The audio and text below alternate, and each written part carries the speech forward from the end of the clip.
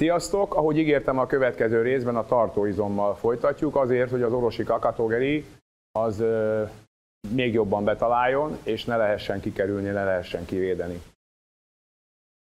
A segéd, segítő megfog, megfogjuk a, az oszlopot. Az első gyakorlat a tartóizomnál nyújtott lábbal függőlegesen dolgozunk az egyik lábbal föl le.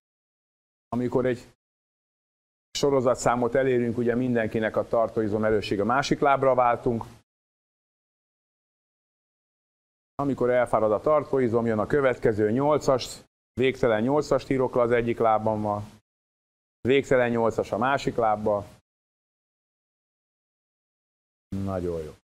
Oké. Okay. Még a lazító gyakorlatoknál átölelem az egyik térdem magamhoz, és belehúzom a válgödörbe. Teljesen.